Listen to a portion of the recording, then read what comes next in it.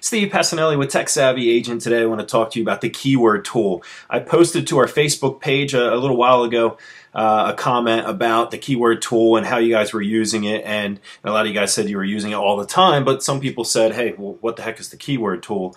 Uh, so I wanted to do a post here today and give it its own section on our blog because we have talked about it before in the past, uh, but we never we never had its own section with some uh, some extra tips in there thrown in on how to use the keyword tool. So uh, this is going to be a post for beginners as well as uh, advanced keyword tool users if you don't know what the, uh, the match types uh, checkboxes are on the left hand side of the screen. We'll explain that, go over a little bit of insights as well. Um, and maybe maybe even some of you uh, advanced users might might pick up a thing or two. So let's get started for the beginners out there, the keyword tool is, is what you're going to want to use before you buy a domain name, before you write a blog post, before you decide to do a pay-per-click campaign.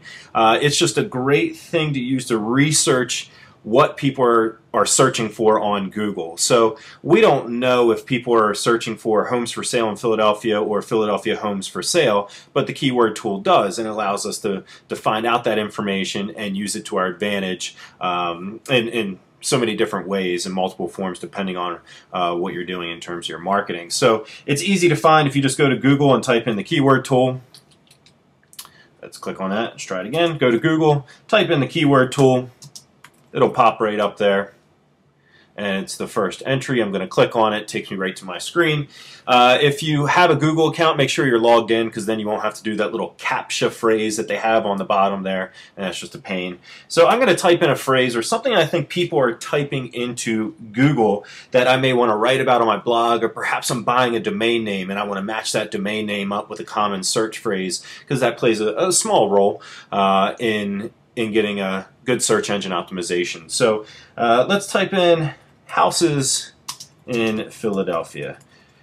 And when I get my classes, this is what most people say that they do. They just go right to the keyword tool, they type in their phrase, they hit the search button, and then they're presented with a bunch of different results, as you can see here. Houses in Philadelphia, 74,000 global monthly searches. And if we scroll over a bit, uh, let's go here, uh, you can see there's 60,000 local monthly searches. So this is all over the world, of course, and this is just locally, you know, in our area. The other cool thing about the keyword tool is you don't really need to know what words you're searching for because it does give you other suggestions or ideas down here underneath uh, with houses for sale in Philadelphia, open house Philadelphia, uh, housing in Philadelphia, etc.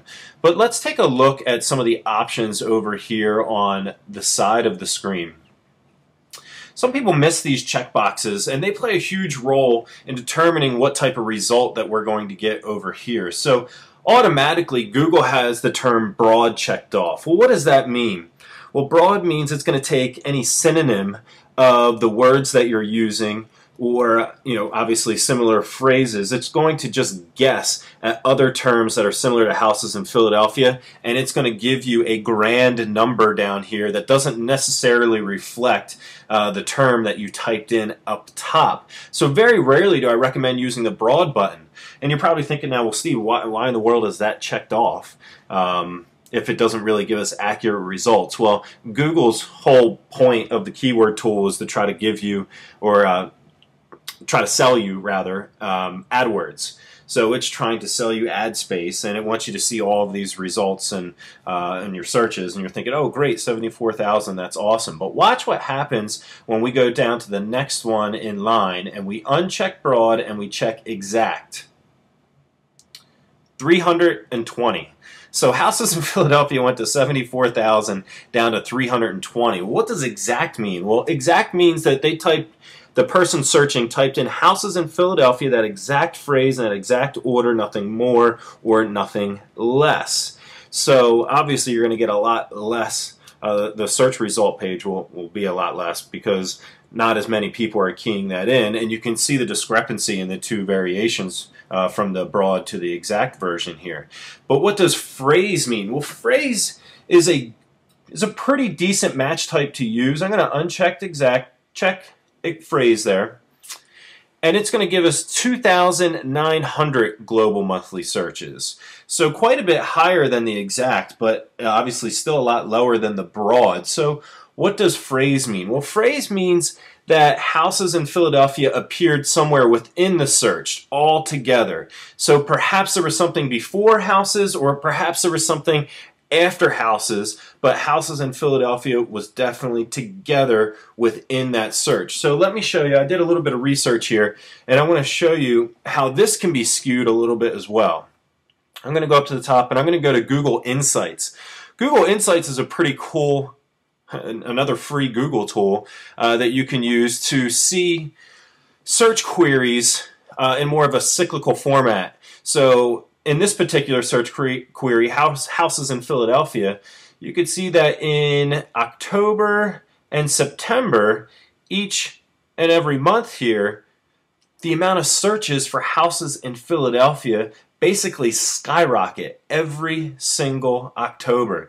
And that's interesting, and I thought about that when I ran this search, and I'm like, why in the world would this phrase skyrocket in October? And I was trying to think of what it could be, and finally I came to the conclusion that because this is a phrase search, like we were talking about here on the previous screen, phrase, that the reason why it was so high in October is because people were searching for haunted houses in Philadelphia. So you see, by using phrase too, that can actually skew your results as well, like in this particular example, because most of the searches are actually coming in this particular month, and people aren't searching for houses in Philadelphia, they're searching for haunted houses in Philadelphia. So depending on what you're using your keywords, to, uh, the keyword tool for, and what you're using your keywords for, that's really going to dictate the match type that you're going to select over here on the side.